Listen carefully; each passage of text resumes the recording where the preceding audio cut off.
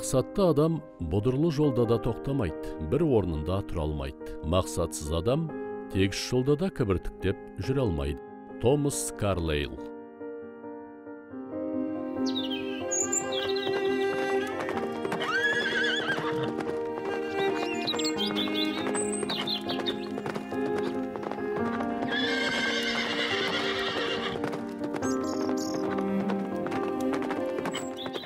әр пенденің пешенесіне жазылған жол бар. Ол жолды тек өзің жүріп өтуің керек. Басқаға сенің кебісің келмейді. Ол жолмен жүре алмайды. Сенің сапарың аяқталғанда әлдекімдер жалғауға талпынуы мүмкін. Тек жолаушыға бұйырған соқпақ қияметті ауыр болса олар тез ниеттен қайтады. Жол жетім қалып көмескіленеді. Бейімбет майлин осыны білген біле тұра ажал аузына тым жақын түспен жүрген.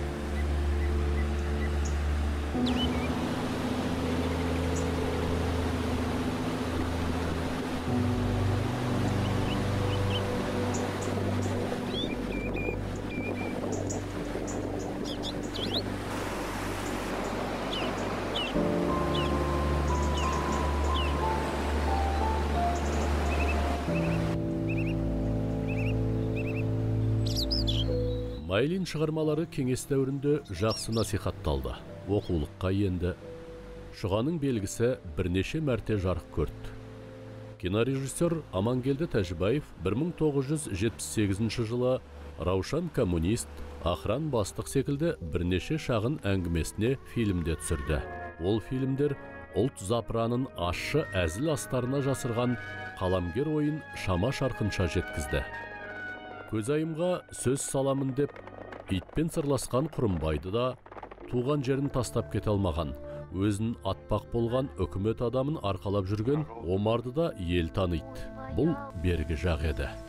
Мәселен мен жындыбаевпын товарищ жындыбаев десең осы елдің баласына шейін білет деп зіркілдеп елдің апшысын қуырған шолақ белсенділерді сталиннен кейінгі одақта да экранға шығару оңай болмаған. Е бәсе жау алатын жалғыз мылтық та сол құрымбайда соның өзі дұрыс Болса несі бар болам кеше жау шапқанда боқ қалған сендер деймісің е мен қарсымын құрымбай бастық болды дегенше күніміз қараң болды дейміз саған қалған сөз жоқ білдің бе өкіріңді ме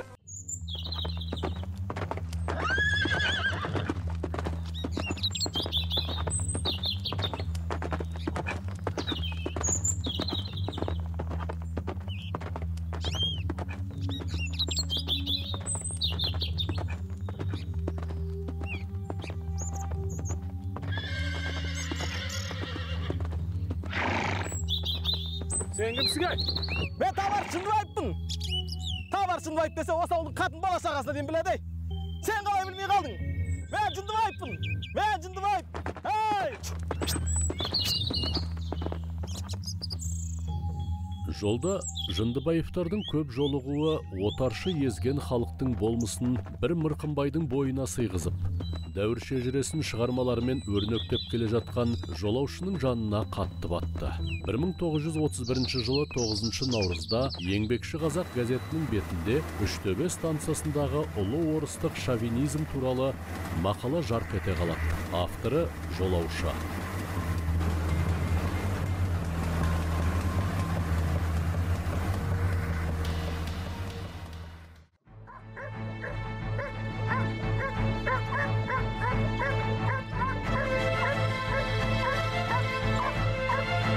Елестетіп көріңіздерші. 1931 жыл. Ұжымдастырумен шолақ саясаттан титықтаған халық аштан қырылып жатқан кез. Бұл қалай дегеннің бәрін нквд жендеттері жетелеп әкетіп жатқан заман. Ал азапқа шыдамай атқа қонғандардың бәрі көтерілісші банда атанды. Сондықтан еңбекші қазақ газетінің бетінде тыңда мені отаным тыңда тыңда құлақ сал саған халқым оқ жоңған түсті қолға бандалар.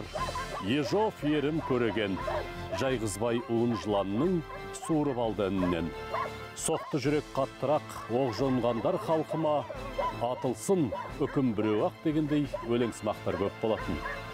Міндет большевиктерді мақтау идеясын асыру сондай ұрандар үдеп тұрған кезде үштөбедегі станциядан нан іздеген қазақтың қорлық көргені жауапты партия қызметкерлерінің сылбырлығы жайлы мақаланың бас басылымға жариялануы аса қатерлі элементтің қиямпұрыс әрекеті деп бағаланатыны анық еді.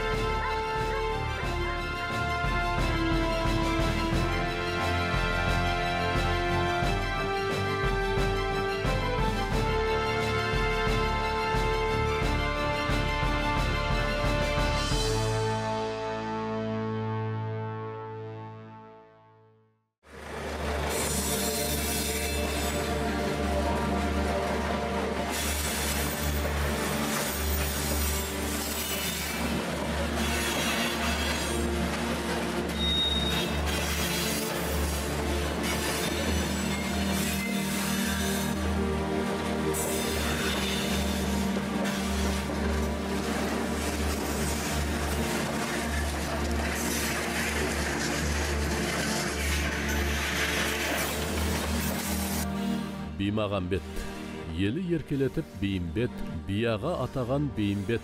Жармағамбет баласының ол мақаласын ішкі істер органдары жедел түрде орысшаға аудартып сақтап қойған.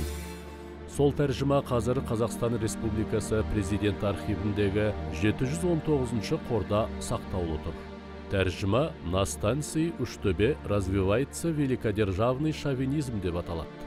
Ондағы мәліметтер автордың үштөбе станциясына барып ел күйін көзбен көріп қаламды асқан ызамен қолға алғанын байқатады. Советтің бітіспес жауына айналған алашордашыларға жұртты сүйер ерлер шығып қолбасы саф азамат бағлам болып жолдасы жарық сәуле ендіретін қазаққа мәңгі жылдар жасасын алаш ордасы деп жыр арнап жасынан огпу қырына іліккен бейімбеттің өзін аңдыған көз көп екеніне қарамастан бұндай ащы мақала жазуы көзсіз ерлік болатын.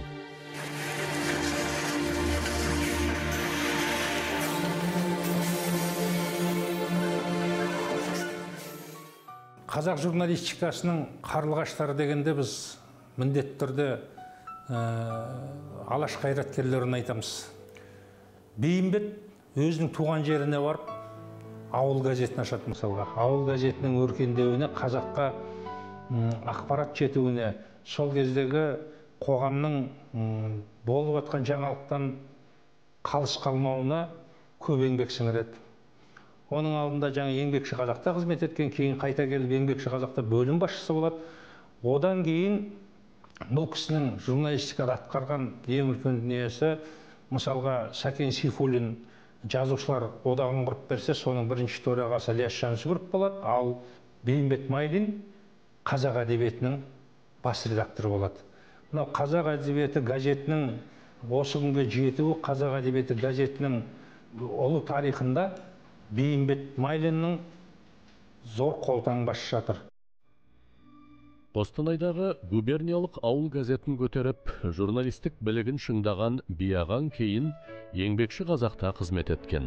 1929 жылы екінші мәрте оралып 1934 жылы қазақ әдебиетіне бас редактор болып тағайындалғанға дейін сол газеттен қол үзбеген бөлім басшысы болған. Ол газет кейін социалды қазақстан атанды. Жақсы көрсең жер көкке сыйғызбай мақтайсың. Жек көрсең жер жебіріне жетіп даттайсың. Тереңде байсалды сынға ол бізге өте қат. Біз оған сусап отырмыз. Бейімбет майлин. Халық жанына батқанды бүркеншік атпен жариялап отыру ояу азаматтардың тәсілі еді. Әлихан бөкейханұлы қыр қазағы степняк деп жазса мұхтар әуезов қоңыр екеу дегендей бүркеншік есімдер қолданды. Биағаңның жолдасы ілияс жансүгіров матай қаптағай күйші деген бүркеме есім қолданды. Майлин болса мырқымбай малай балықшы деп қол қойды. Қызыл жендеттің тұзағына түспеу үшін жасырынып жазған сайын бүркеншік атта көбейе береді. Қаламгер шығармашылығын зерттеуге ғұмырын арнаған ғалым марқұм тоқтар бейісқұлов 2012 жылы 15 қарашада берген сұхбатында темірғали нұртазин бейімбет майлиннің творчествосы кітабында әзірге біз анықтаған псевдонимі 21 деп жазған еді. Бейімбет майлин шығармашылығын зерттеуші байменше бейтаныс бейімбет деген кітабында 33 деген пікір айтты. Бейімбеттің бұл қырын анықтауды мен жалғастыра бердім. 1993 жылы басылған қанатты қаламгер атты кітабымда 43 деген едім. 2000 жылдардан бері қарай зерттей келе бейімбет майлиннің 74 бүркеншік аты бар екендігін анықтадым деді.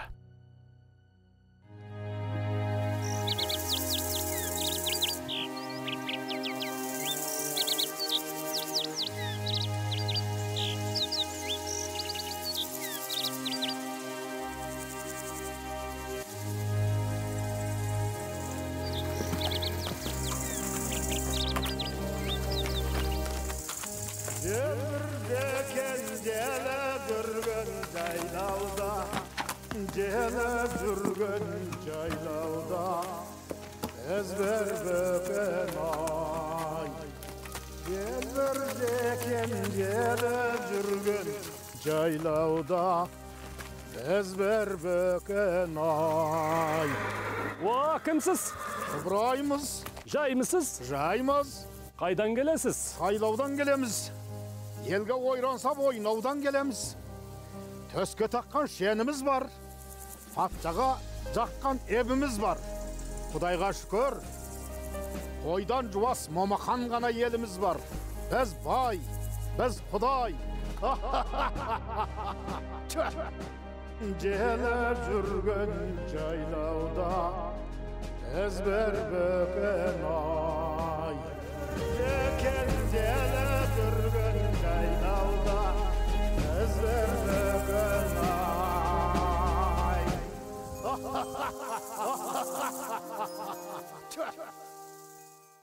Қостанай облысы бейімбет майлин ауданы әйет ауылында 1991 жылы 18 мамырда э, тарихи өлкетану музейі ашылды. Жазушы драматург сценарист бейімбет майлин атауы берілді. Бұл музейде арнайы бейімбет майлинге ең үлкен экспозициядан орын бөлінді. Бұл экспозицияда туып өскен өлкесіне арналған макет фотодокументтік құжаттар жұмыс істеген орнына инсталляция және де отбасы туралы көптеген фотодокументтік құжаттарды көруге болады. Бейімбет майлиннің тағы бір айтылмай жүрген қыры ол кісінің балаларға арналған шығармалары.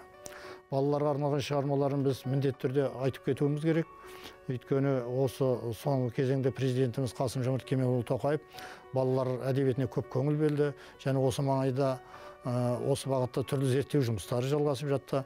Сол кездерде ә, бейімбеттің және сол өзімен қатарлас болған үш бәйтеректің балаларға арналып жазған туындылар бар екені тағы да пысықталды соның ішінде мысалы атап айтатын болсақ бейімбет майлин балаларға арналғанда сюжеттік шығармаларға көп мән берген.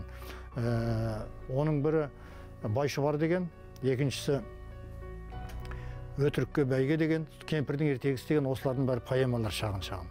Ә, балаларға оқулықтарға қатысты еңбектері бар. 27 жылға шыққан бір жинағында тек қана балаларға білім алуға қатысты білімді үндеуге қатысты ә, мақалалары әңгімелері жинақталған болатын. Егер біз бейімбеттің шығармашылығына үңіле беретін болсақ көптеген қызықты жайттарға куә боламыз. Осы 30 жылдары тынымсыз еңбек етіп халқын қараңғылықтан құтқару үшін сауаттылығы төмендерге арналған оқу кітабын көш жаңаша оқы және жаз деп аталатын оқу құралдарын жазып үлгерді. Бейімбет майлин ізімді аңдыған жау адасып қалсын деп қолданған бүркеншік есімдердің бірі жолаушы болатын. Мың шақырымдық жол бірінші қадамнан басталады. Лао цзи. Бейімбеттің балалық шағы ауыр болды. Қаршадайынан жетім қалып тырбанып жүріп сауат ашты. Троицкідегі уәзифа уфадағы ғалия медреселерінде әліпби үйреніп қостанайда орысша тіл сындырған бейімбет майлин небәрі 20 жасында зиялы қауымды елең еткізді. 1914 жылы ғалия медресесінің садақ журналына шұғаның белгісі басылып еді. Қалың малы жоқ мұғалім әбдірахманның бай қызына қол созғаны жайлы. Таптық ойдан гөрі сүйіспеншілік сипаты басым повест биағаңның кіршіксіз көңілдегі махаббаты.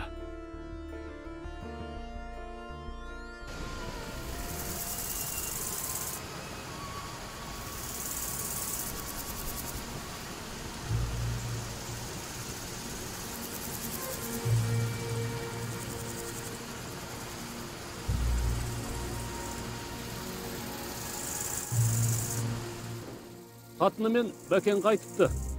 Қашан бүгін алда бейшара ай қайтқандары да дұрыс болған екен тірідей көр болып еді айт күні қайтқаны тілеулері дұрыс болған екен бейшаралардың дүние деген осы жігіттер деді ортада отырған бір ақсақалды кісі едәуір жыл болды өгіз өлгеннің басында айт болып ат шаптырғанымызда жиылған адам қанша болса да бөгелмей ақ қымызға қандырып шығарып еді ақырында бүгін сол бәкен қатынымен аштан өліп отыр тұз дәмін татқан жігіттер ескеріңдер еттеріңді жеген соң жаназасын жерге тигізіңдер сауап қой ет желінді қымыз ішілді жұрт жиналып елдің сыртындағы белеске шығып жалау байлап ойын қылуға айналды ақсақал сөзін тыңдаған жан жоқ ат шабыс күрес аштан өлген бәкен мен зейнепке көптің көрсеткен құрметі тілеулері дұрыс екен айт күні қайтты болды. Бұл бейімбет майлиннің айт күндері атты әңгімесінен үзінді. 1922 жыл алғашқы аштықтың өкініші өзекті от болып қарт тұрған сәт. Қазақ ауылының бір басы той тойлап екінші басы аштан қырылып жатыр.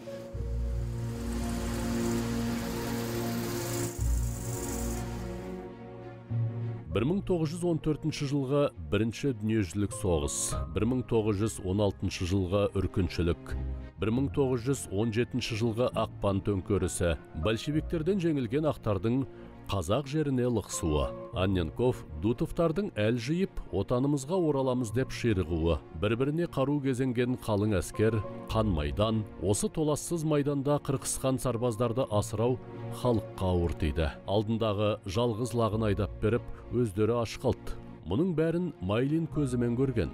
Ол да алаш сапында болып әскерге азық жинауға көмектескен. Елдің ауыр хәлін көрген қаламгер үш айдан арыға шыдамай бас тартыпты.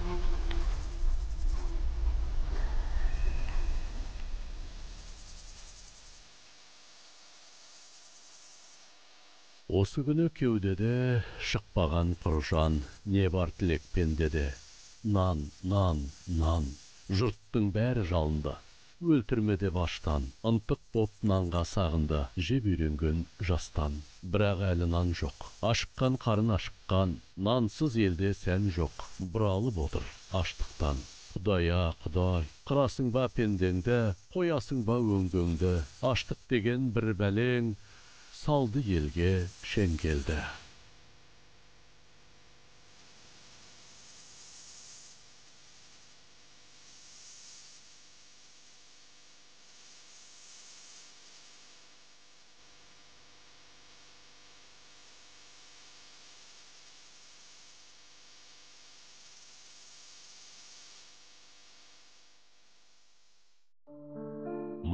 Мырқымбай ыбырай дайрабай жындыбаев раушан құрымбай түйебай ұл болсын бұл бейімбет майлин прозасы мен поэзиясындағы кейіпкерлерінің бір парасы ғана. Халқы бастан өткерген дәуірдің әр сәтін бір кейіпкер арқылы белгілеп отырған. Әрі сол кейіпкерлер қазақ әдебиетінде ұлт санасында жүз жылдан бері ғұмыр кешіп келеді. Осының өзі майлин сатирасының уытын қысқа әңгіменің хас шебері атандырған қаламгерлік қуатын көрсетеді. Уа кімсің? Ыбыраймын дегенді естігенде еріксіз езу тартасың. Ал қазақтың құдайға деген пәк көзқарасын таза жүрегін дөп беретін талақты оқығанда ой торлайды. Бала жасымнан ол кісінің шығармаларын көп оқыдым.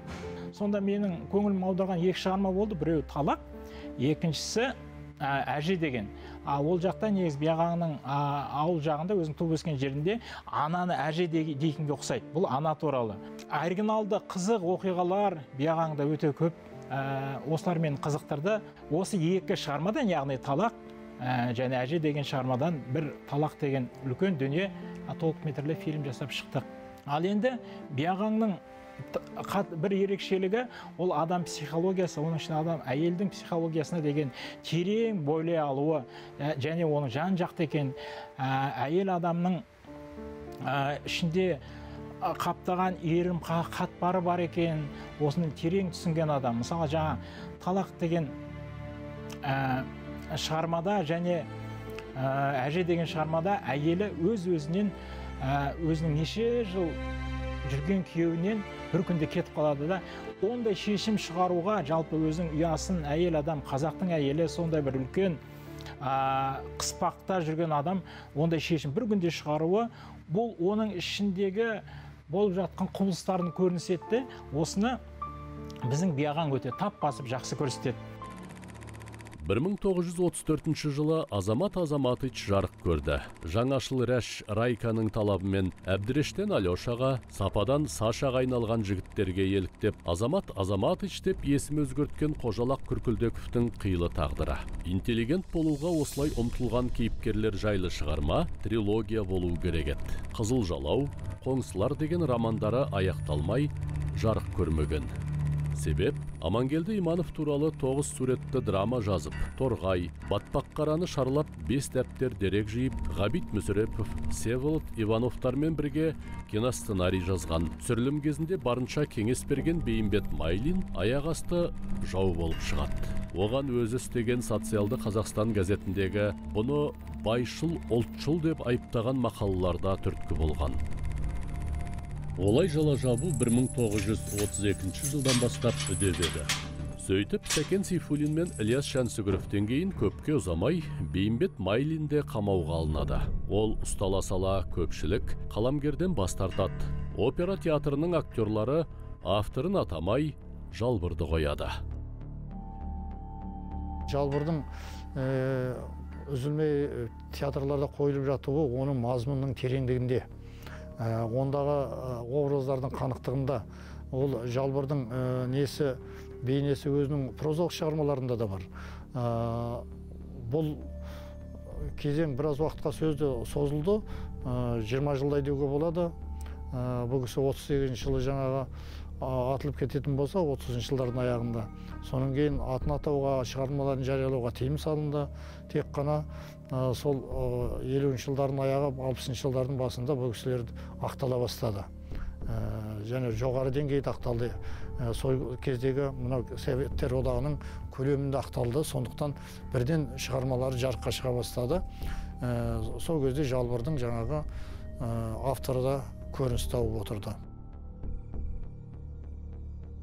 Бейімбет майлин мен жары гүлжамалдың әукен разия мереке еділ гүлсім деген бес перзенті бар еді. Әкенің жау атануы оларға қиын тиді. Өмір бұғанасы қатпаған балаларды тағдыр диірменіне тастап жіберді.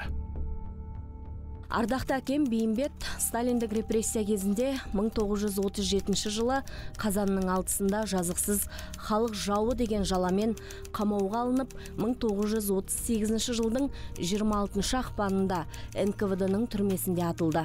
Ал миң тогуз жүз отуз сегизинчи жылдың он үчүнчү сәуірінде шешем халық жауының әйелі ретінде сегиз жылга сотталып лагерге айдалды.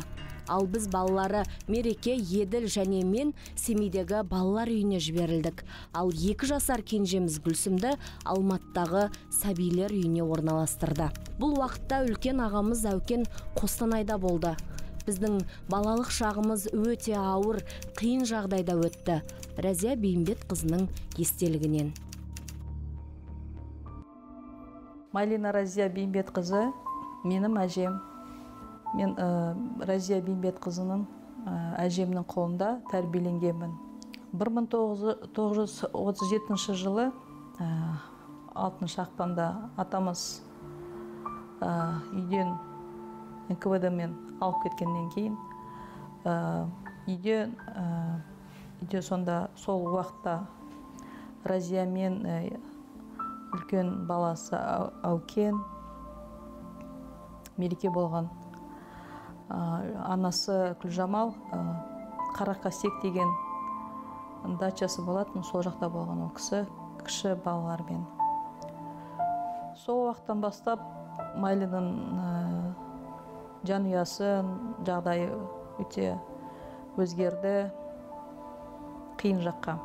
1938 жылы сәуір айында күлжамал апамызды қарлак түрмесіне алып кетіп балалар жетім қалып аукен үлкен ұлы бейімбеттің қостанай жаққа барады. Өзі әкесі туған жеріне көмек іздеп қаражат іздеп сол уақытта мына жерде балаларды үш баланы разия мереке еділді ә, дет, детский распределитель деген бар екен сол жерге айдап жүреді. Кішкентай ә, гүлсімді сарқантқа дом малюткеға жібереді.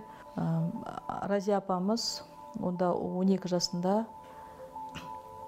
детский дет жаңағы детский распределительдің директорына барып жас қазақ жігіт екен соған жалынып жіберсеңіздер балалар үйлеріне жіберіңдер бір қалаға деп үш баланы семей қаласына жібереді екен.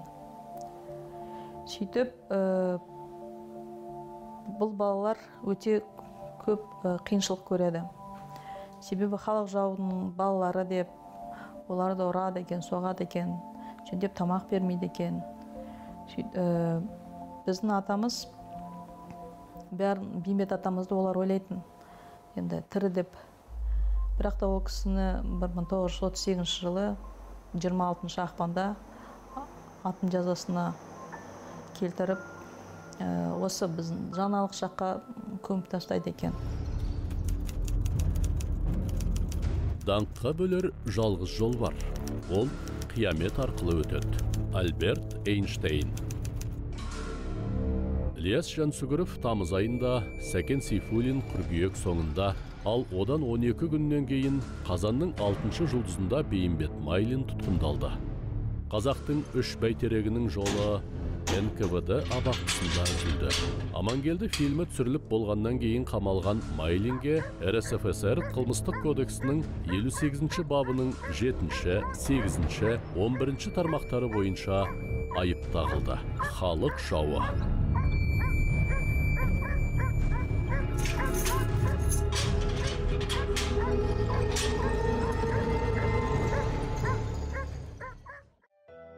Бейімбет майлин елу үш күн тергеуде болды және де үш ай тұтқында отырды.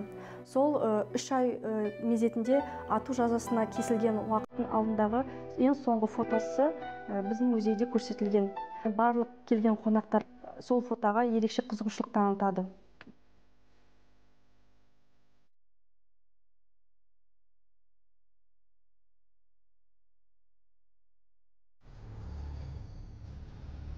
1956 жылы 9 ақпанда коммунистік партия орталық комитеті президиумы өтті. Ол жерде арнайы комиссия үлкен террор жайында баяндама жасады.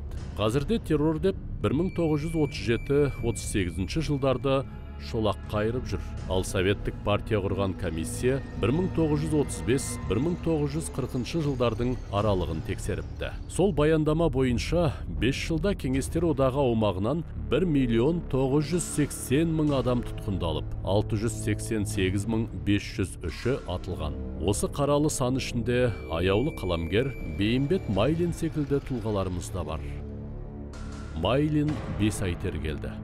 1938 жылы ақпанның 26 күні ату жазасына кесілді. Ішкі істер халық комиссары станислав реденстің бұйрығымен бір күнде 37 адам оққа байланды. 1938 жылғы 26 ақпан мен 13 наурыз аралығында алматыдағы абақтыда 631 адам атылған екен.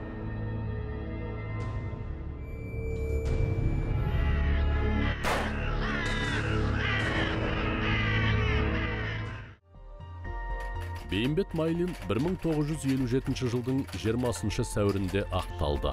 Ксро жоғарғы сотының әскери алқасы 1938 жылғы үкімнің күшін жойып жазықсыз деп таныды. Содан кейінгі 10 жыл ішінде оның авторлық хақысы да толық қалпына келді. Алда әлі күнді көре білетін ұрпақ келеді. Сол күнді көретін ұрпақ сендерді еске алатын болады. Бізді ризашылықпен үлкен құрметпен еске алатын болады өкінбеңдер күрес жолына түскендеріңе өкінбеңдер әлихан бөкейханұлы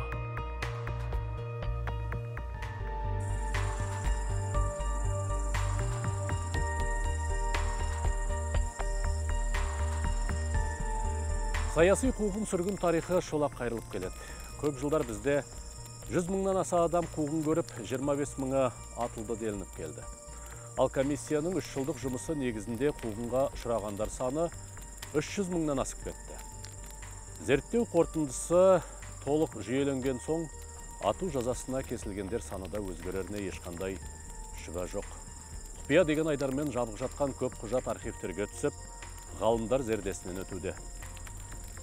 Көкейдегі көп сауалға ұшпа пікір ұшқары ойға нақты жауап берілетін сәтте жақын.